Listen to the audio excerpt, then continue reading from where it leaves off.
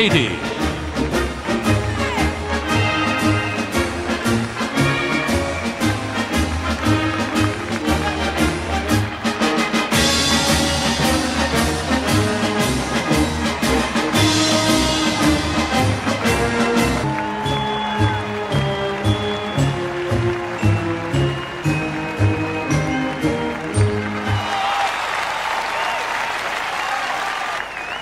Ladies and gentlemen, as the athletes of the 23rd Olympiad leave the stadium, let's all give them a rousing cheer and wish them a successful and rewarding Olympic experience.